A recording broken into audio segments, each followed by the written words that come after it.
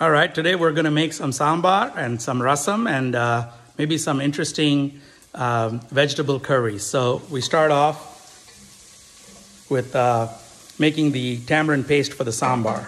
And here you go, that's the tamarind paste.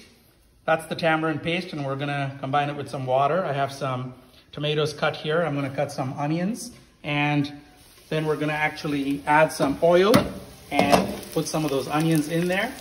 Uh, initially, uh, a little bit of uh, salt and um, uh, we put uh, sesame seeds and uh, go from there. That's the next step is to actually add the tamarind paste which has been mixed in water and, and then we move forward. So as you can see now, I'm mixing some cold water into the tamarind.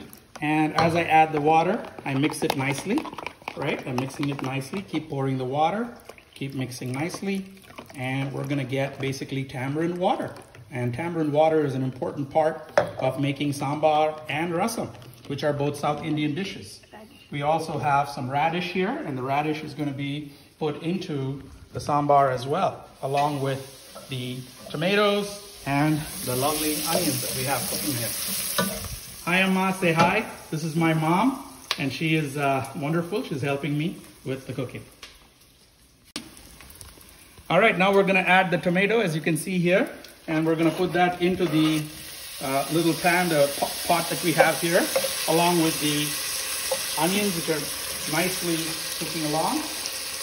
And we're gonna stir that a little bit, and we're on our way to making a delicious sambar, which the history of sambar is that it was actually invented by the son of Shivaji Maharaj, uh, Chhatrapati Shivaji Bhonsle's son, discovered sambar by accident while creating a dal-based dish. And so it actually has some historical significance uh, as well.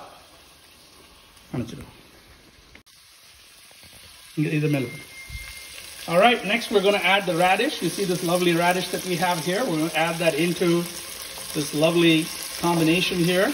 And uh, then we're going to stir again uh, for a little bit. Now, remember the onions go first. You have to wait till the onions become a little bit yellow. And a little extra salt helps us cook the onions nicely in the sesame seeds and, and uh, then we've uh, added the tomato and now we add the radish. And now at this point what we do is we cover this up uh, mostly but not entirely uh, so that it can be uh, cooking along and doing a great job. We're on our way to making some sambar.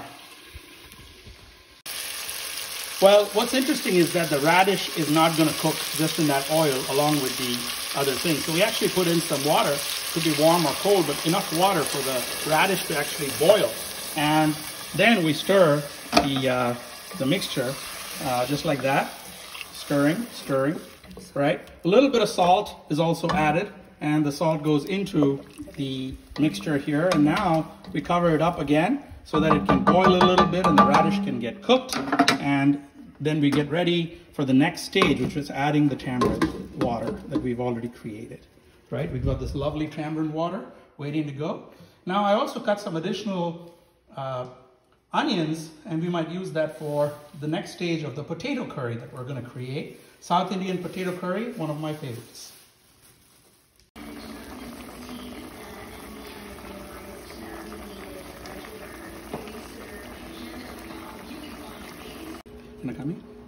All right, now we've got to see what's going on with our uh, tomatoes, our onions, and our radish. This is sambar that we're making. Remember, we uh, we've got to make sure that the radish is actually cooking. And yeah, it seems to be cooking, coming along. It's gotten softer quite a bit. And we may be ready for the next stage, which is adding the tamarind sauce. So what we're gonna do next, what we're gonna do next is to take this lovely tamarind juice that we've made, just adding water to some Tamicon tamarind. And we see there's a little bit of uh, tamarind left here. We, we don't wanna lose any of that. We wanna put that into the lovely mixture. And then once we're done with that, what we're gonna do is actually add this tamarind right into the lovely sambar that we're making. So now what's happening is that in South Indian, both rasam and sambar, what we do is that we do add the tamarind water and uh, we took just a little teaspoon of tamarind and mixed in a whole cup of, uh, a whole glass, I should say, of cold water. And look at that, just look at that color. Oh my God, it's starting to look really good.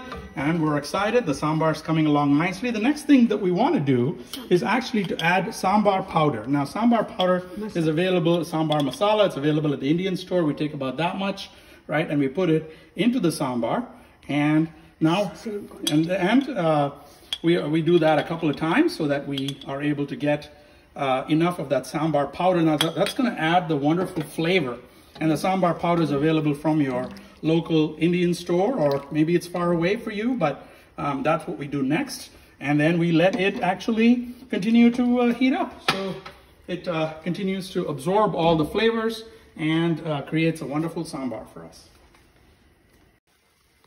So we added a little bit of salt, about uh, uh, one uh, teaspoon. And then what we're gonna do next is to actually add some turmeric powder, roughly about that much, not too much, um, roughly about that much to this wonderful sambar. And turmeric powder is so powerful because it's antioxidant, it uh, defeats cancer, and, and a lot of Indian cooking has turmeric powder in it, which is amazing.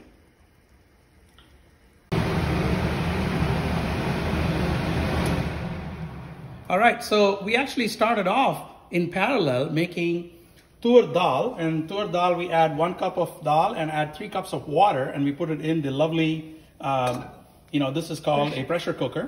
And once it's uh, cooked, we remove it and there we have the tur dal. Now we're gonna add, uh, in fact, substantial amount of this tur dal to the sambar, but first we do have to make sure that we make it into tiny pieces or small pieces so that it's not the each dal uh, lentil piece does not stand out in the sambar. So we're actually doing this to make sure it's nice and liquid almost.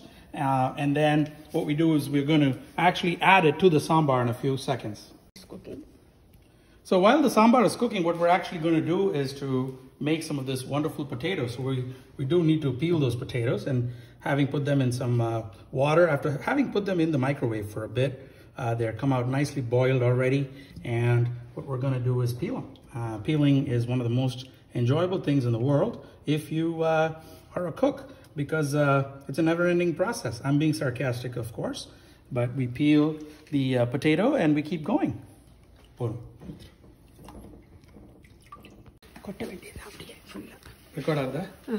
Okay, now we're going to take that lovely dal, the tur dal that we had made and mashed. Now we put that into the sambar. And most of it will go into the sambar. Uh, I'm doing it casually here, but uh, about half of it goes into the sambar. And uh, so all of it goes at this point uh, because we, we did have some separately for the rasam, but now we're just going to pour it into the sambar. All right, we are all set, just like that. And we add a little bit of water uh, to this to get the final remnants. Mix